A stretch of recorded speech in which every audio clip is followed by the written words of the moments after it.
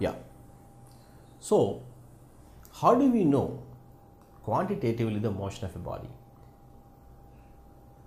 One day, a student of Archimedes raised stand and he asked, Mr. Archimedes, why if I throw a stone, the stone is flying in the air, falling on the ground and moved to some distance and stopped? Why the leaves are flying in the air and after some time they are stopped? Then Archimedes told that it is due to the nature of the body. It is the nature of the stone that it has to stop after some time. It is nature of the leaf, it has to fly and stop after some time. And this nature was presented by the God. That's why the objects are working in that way, behaving in that way. See the answer by the Archimedes. That was the age, the scientific knowledge not that much improved, advanced. They believe God and they taught everything related to God. Next, the Galileo age. Galileo was very interesting and very intelligent person and has got a very inquiring mind. He wanted to know that uh, the same thing, why the objects are in motion, why the object is flying or object is uh, what, you, what you call uh, moving on the ground and stops after some time. He did many experiments and he told that it is due to a property called inertia. Because of inertia, bodies are in motion, or because of inertia, bodies are at rest. So he framed the inertia. But that inertia, nobody can uh, experience, nobody can quantitatively express. Quantitatively means they can't calculate. Then the next age, Newton was the first person, for the first scientist. Actually, he quantitatively expressed and told that uh, how this force can be uh, measured. So he framed a law, and he is he that law says a body a body tends to be in motion or you can say uniform motion tends to be in uniform motion or at rest. Uniform motion or at rest. Until and unless an external force acts on it. External force means unbalanced force. So, a body tends to be in motion or rest. If the body is in state of rest, it is the rest state only. If the body is in motion, it will be in the motion only until and unless you apply an external force act on it. When you apply external force, immediately changes state. So that's how he expressed the first law. And the strange thing is that before Newton, Galileo also had given the same statement, but only he excluded this thing.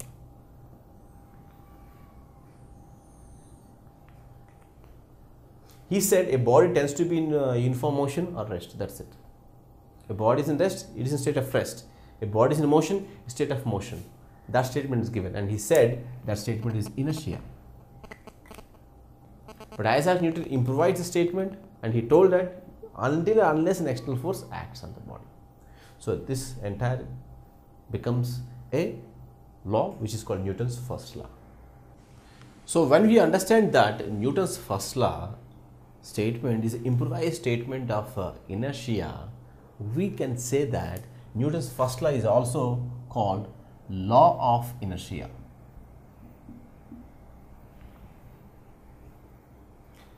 A body tends to be in a state of rest or motion until an external force act on the body. The statement is in first law, but it's also improvised of uh, improvised statement of inertia, so you can say it's a law of inertia. Now coming to inertia, what is inertia? So inertia is related to mass, and we can say mass is the measurement of inertia. This statement is important to remember. Mass is the measurement of inertia. Means more the mass, more the inertia. Lesser the mass, lesser the inertia. Let me take an example.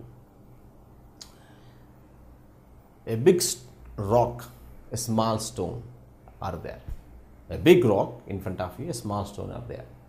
You are the top of the mountain. So, you want to push the big rock, you want to push the small stone.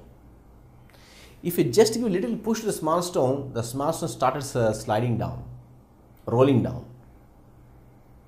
on the uh, mountain. But if you push this, if you apply the same pushing force on the uh, big rock, does it fall? No. Still you apply the force, still it is not falling because it has more mass, it has more inertia. So it wants to be in a state of rest. That's why it is not uh, moving. Suppose a car is moving very high speed, very very high speed. This is in motion. Now suddenly car driver has seen something in front of the car um, away from 100 meters away from his car and he applied the brakes. Do you think immediately car stops? No. It goes to some distance because inertia. Because of inertia, it wants to be in motion. That's why still it is in motion. After some time, it comes to stop. And the stopping distance, when you apply the brakes, the stopping distance depends upon the mass. Car has more amount of mass. That's why it takes longer time. But if you see the same case of cycle, same 100 meters has seen something, if you apply the brakes, immediately the cycle stops because of less mass, less inertia. Car more mass, more inertia. So like that, mass is the measurement of inertia. Inertia is again classified into two types. One is inertia of rest. The second one, inertia of motion. Inertia of rest, inertia of motion. What is inertia of rest? When body wants to be in the rest state, that is inertia of rest. See the example. There is a glass, on the glass is a cardboard. Above the cardboard is a coin. Many times I have done this experiment. If you pull the cardboard quickly, then what happens? Then stone also comes with you? No. Stone drops into the glass. Why? Because stone is in the rest state at this location and wants to be in the rest state. That's why when you pull the card quickly, because of inertia of rest, it is the same state. But here nothing is there, so it falls into the glass. Inertia of rest example. Okay. Now go to this one. Carpet having so many dusty particles and you want to remove the dust particles. You take a big stick and hit on the carpet. Then you can see the dust particles rise up. Why? Inertia of rest. Because they want to be in the rest state, but when hitting the ground, it rises up. When you pull, when you shake the tree, the fruits are falling from the tree. Why? Inertia of rest. They are state, they want to be state, but because of pushing, they are falling. Pushing and pulling, they are falling. So these are examples of inertia of rest. Inertia of uh, rest. This is also inertia of rest. Coming to this fan, electrical fan. When you turn on the fan, switch on the fan, the fan blades are rotating, you're getting the air. And you want to stop the fan now. You switch it off. Do you see the blades are stopped immediately? No. Blades will still continue to move for some time because of inertia of motion. This is in motion, still wants to be in motion. So it is the example of inertia of motion.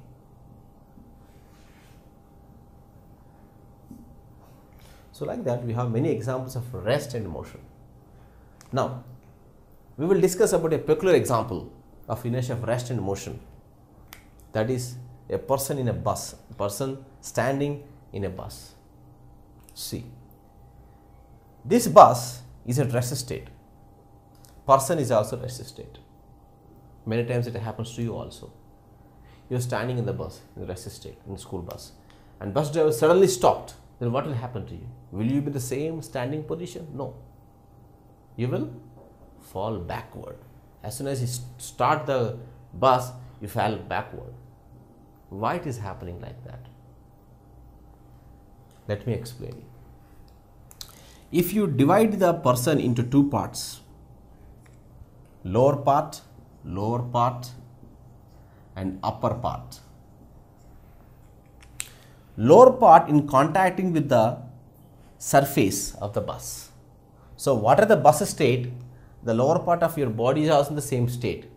If bus suddenly starts, your lower part suddenly starts and move forward, but upper part still in the same location. So that's why you feel backward pulling. This has happened because of inertia of rest. Inertia of rest. Now coming to here, this is another different behavior. You are in the bus, moving bus, and driver suddenly stopped. Then what happened? Many times you have observed us. We fall forward. We fall forward. This is because of inertia of motion. So same thing I can explain you. Lower part, upper part. Same explanation you can give. Lower part in contact with the body. So the lower part is also in motion. But as soon as the car stopped, sorry, the bus stopped, lower part of the body stopped, but upper part still is in motion. That's the upper part moves in forward direction. You feel you're falling forward. So this is example of inertia of motion. So here falling forward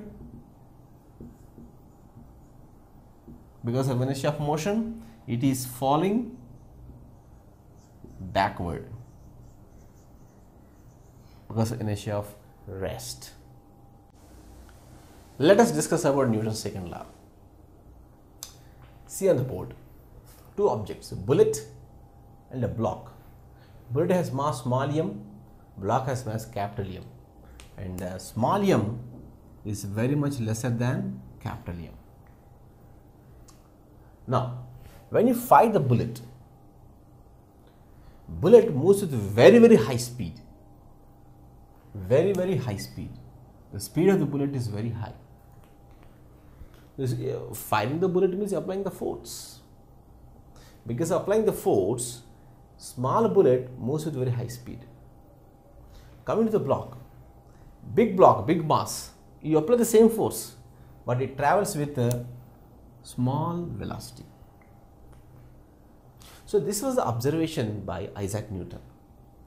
He understood that small masses moves with high speed, big masses low speed. Take your experience also when you are on the signal point. Red is showing you are on the bike. You are on the bike and next to you there is a bus. Both are in the both are in the rest state. Means engines are on but rest state, you're not moving. As soon as the red signal changes to green, when you rise up, who will go first? You on the bike or the bus? Obviously you. Because your mass, including with the bike, is less. So you go with very high speed, whereas bus cannot go with high speed because of big mass, less velocity. So the observation, observe, observation with Isaac Newton, he confirmed that mass mass is inversely proportional to velocity. More the mass, lesser the velocity. So, m is inversely proportional to v. If you take v to the left hand side, this mv equal to constant and he put the name as p. p means momentum. So, it is momentum. Momentum. So, therefore, momentum p equal to mass into velocity. This was the first observation by Isaac Newton, momentum. So, if we take the SI unit of momentum, mass is kg, velocity is meters per second. So, it is kg meters per second. Okay. So, how to define momentum? It is a product of mass and velocity. That is the momentum. Let us do a small numerical on the momentum. So, I am uh, doing an example numerical here. Suppose a ball of mass 2 kg has thrown with velocity 0.5 meters per second. Then what is its momentum? So it's a direct formula P equal to mv, right?